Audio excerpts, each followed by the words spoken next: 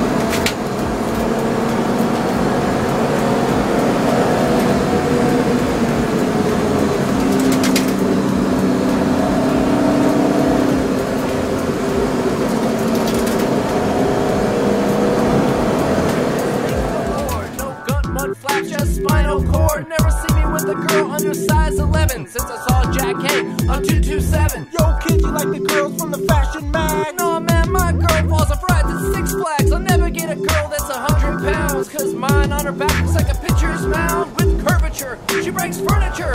I pull back the beef curtain and service her. Yo, hey,